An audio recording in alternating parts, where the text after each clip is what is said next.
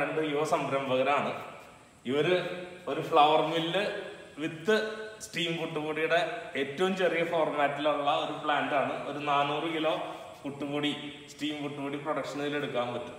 നിങ്ങളിപ്പോൾ കാണുന്ന ഈ പൾവറൈസർ നാല് ഹെഡുള്ള വളറൈസറാണ് രണ്ട് ഹെഡുള്ള രണ്ടെണ്ണമാണ് വെച്ചേക്കുന്നത് അപ്പോൾ മസാലകൾ മിക്സ് ആവാണ്ടിരിക്കാൻ മുളക് പൊടിക്കാൻ തനിയെ മുളക് പൊടിക്കാൻ മല്ലി പൊടിക്കാൻ മല്ലി പൊടിക്കാൻ തനിയെ അരി പൊടിക്കാൻ ഒന്ന് ഗോതമ്പ് പൊടിക്കാൻ അങ്ങനെ.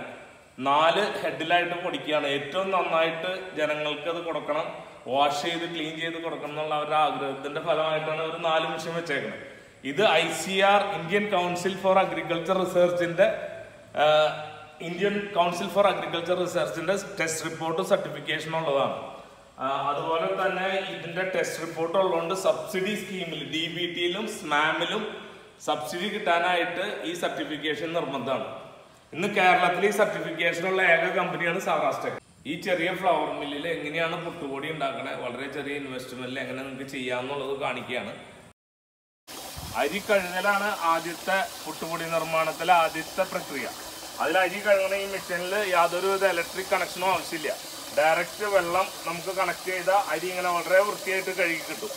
ഈ കഴുകിയ അരിനെ നമ്മൾ ഇതിന്റെ നോബ് തിരിച്ചു കഴിഞ്ഞാൽ ഈ അരി ഒരു അരിപ്പകലത്തിൽ വന്ന് ഓട്ടോമാറ്റിക്കായിട്ട് ഇതിൽ നമുക്ക് അരി കളക്ട് ആയിക്കൊണ്ടിരിക്കും. അത് കഴിഞ്ഞ് അതിന്റെ വെള്ളം ചോർന്നു പോകും ഇതിൽ അരി കഴുകി വാല വെച്ച് വാല വെച്ച് കഴിഞ്ഞിട്ട് അത് ഈ സ്റ്റീമർ എന്ന് പറഞ്ഞ മെഷീനിലേക്ക് ഇട്ടിട്ടുണ്ട് അത് സ്റ്റീമർ എന്ന് പറഞ്ഞ ഈ മെഷീനിൽ വെച്ച് കഴിഞ്ഞിട്ട് ആവി കയറ്റാണ് ആദ്യം ചെയ്യുന്നത്. ഈ സെയിം മെഷീൻ ഉപയോഗിച്ച് നിങ്ങൾക്ക് റെഡി ടു ഈറ്റ് പലഹാരങ്ങൾ ഇടിയപ്പം വട്ടയപ്പം കിണ്ണത്തപ്പം അങ്ങനത്തെ കാര്യങ്ങൾ ചെയ്യാൻ പറ്റും. അപ്പം അരി ഇതിൽ വെച്ച് ആവി കയറ്റാണ് ആദ്യത്തെ നടന്നത് അപ്പോ ഇവർക്ക് ആദ്യം ട്രെയിനിങ് കൂടിയായിട്ടാണ് ഞങ്ങൾ ഇത് ചെയ്തു കൊടുക്കുന്നത്. അപ്പോൾ ഇവിടെ ആവി കയറ്റി ഈ മെഷീനിലാണ് നമ്മൾ സ്റ്റീം ചെയ്തത് ഈ സ്റ്റീം ചെയ്ത അരിനെ നമ്മൾ ഇവിടെ വെച്ച് തണുപ്പിച്ചിട്ട് അതിന് നേരെ പൾവൈസറിൽ ഇടണം. ഈ സ്റ്റീംഡ് പുട്ടുപൊടി എന്ന് പറയുമ്പോൾ മെയിനായിട്ടും വരുന്നത് ഈ അരിനെ കഴുകി വാല വെച്ച് സ്റ്റീം ചെയ്യുക. അത് കഴിഞ്ഞിട്ട് പൾവറൈസറിൽ പൊടിക്കാൻ കൊണ്ടുപോകണം.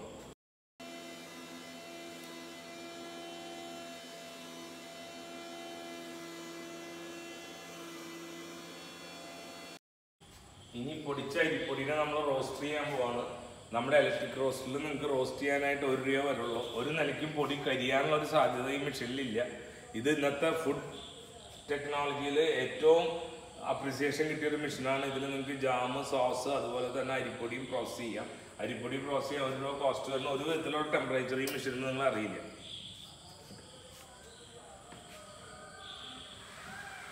അത് ചെയ്യും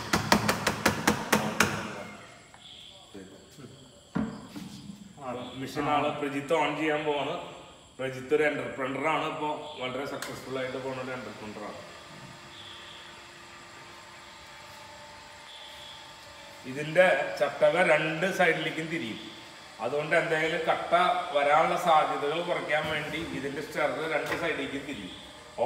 ക്ലോക്ക് വൈസും ആന്റി ക്ലോക്ക് വൈസും തിരിയും. അപ്പോൾ ഒരു പകുതി നേരം ക്ലോക്ക് വൈസും പിന്നെ ആന്റി ക്ലോക്ക് വൈസും നമുക്ക് തിരിയും.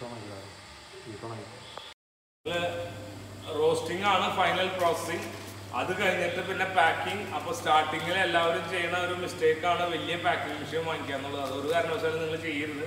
സ്റ്റാർട്ടിങ് നിങ്ങൾക്ക് എല്ലാ കാര്യങ്ങളും സെറ്റ് ആയതിന് ശേഷം മാത്രം പാക്കിംഗ് മെഷീൻ വയ്ക്കുക അതുവരെ ഈ ചെറിയൊരു പാക്കിംഗ് മെഷീൻ മതി. അപ്പോൾ അത് ഉപയോഗിച്ച് പാക്ക് ചെയ്യണത് പ്രജീഷ് കാണിച്ചു തരും. Thank you thank you for all your support